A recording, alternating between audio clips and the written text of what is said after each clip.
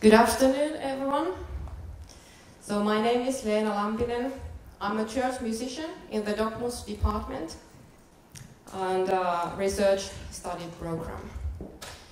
I graduated as a as an organist. I mean, a church musician and organ as a major instrument, and then found myself in Africa a few few years later. So I'm taking you to a very different context now.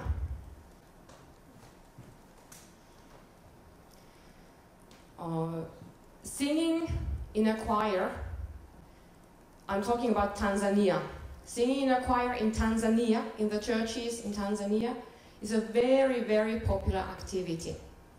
My research is about, about choirs, choir conductors, choir uh, repertoire in the Lutheran Church, but choirs are very popular also in the Catholic Church, in Anglican Church, in all the, all the churches in Tanzania.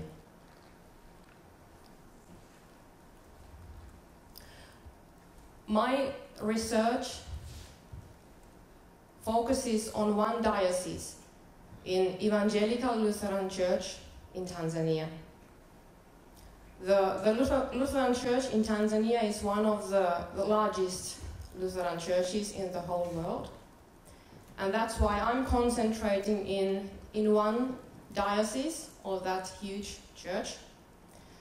And that's situated, located in the northern part of the country, somewhere between the Mount Kilimanjaro and Serengeti National Park. That's the area we are talking about now.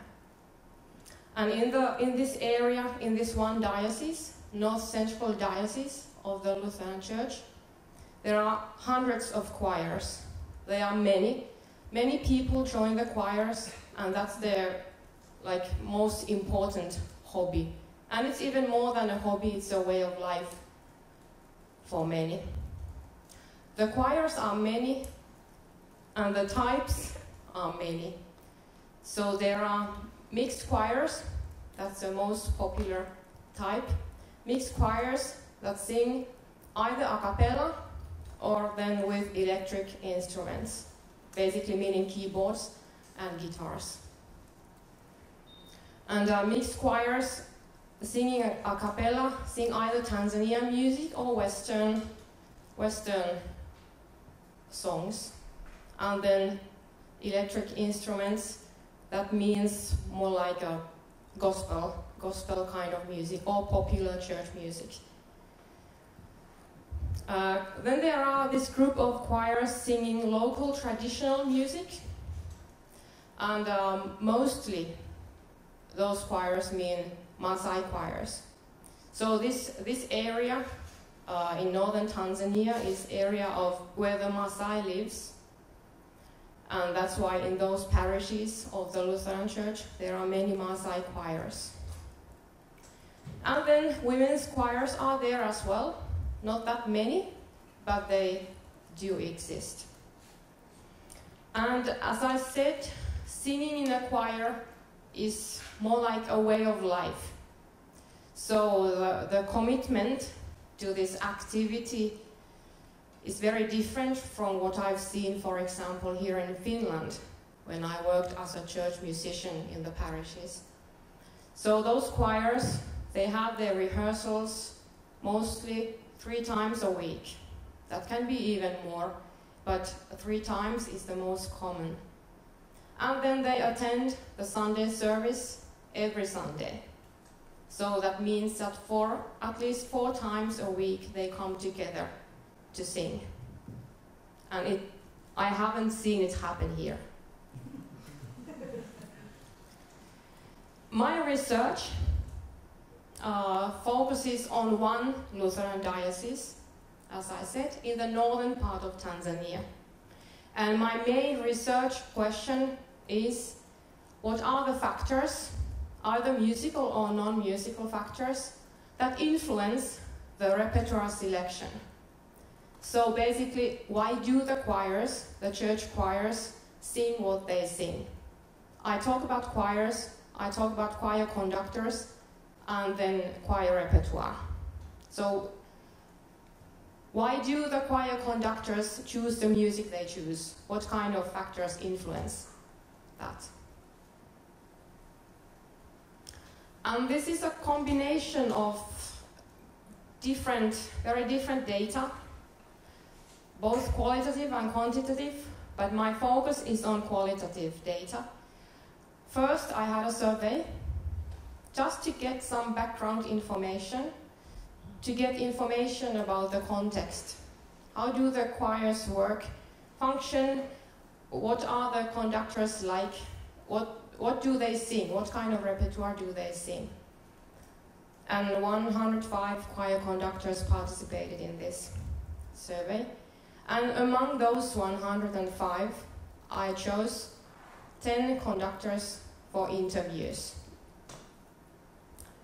And that was very interesting. I tr tried to find very different conductors, and I traveled around the, the diocese trying to first um, find them where they were. And then I had very interesting discussions with them. I would describe my approach to this data as a form of content analysis. I started to read and read and read and uh, try to find out what do I have here. And then different themes have, have come up. I also have a few video recordings of choir competitions and I, I am planning to analyze those to see do the choirs actually sing what the conductors claim they are singing. So, but that's still, I'm thinking about that. You may ask, why did I end up to, to Africa, to Tanzania?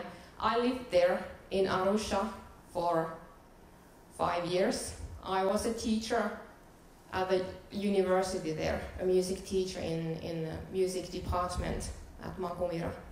So I have my own experiences there, from there. Tanzania wasn't first as a research field for myself, it just became, became one. I use the word field here although this is not an eth ethno ethnographical uh, study. But it, it was a field for me as well. Since I sang in a choir, I, I was a member of a, of a local church choir. I sang with it, I performed with it. So those experiences are part of my research as well. This is still an ongoing process. There are many things going on. I'm going back and forth between my data and my own text, and I'm analyzing the data I have.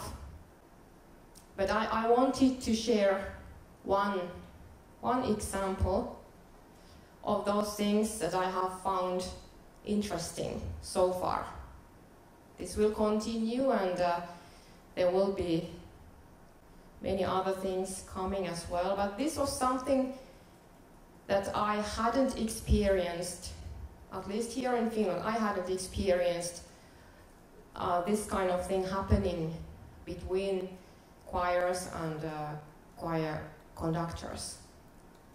And this is cooperation between the conductors both inside a choir. Usually there are several conductors in one, one choir. And then also between different choirs. We are talking about conductors who mostly don't have musical education. Some of them have studied, but they are very rare cases. Some of the conductors have participated in some workshops but most of them do not read music, for example. They are conductors. They, many of them compose their own music, and uh, so the context is very different. But cooperation between these choir conductors is a very important way of widening repertoire and also learning from others.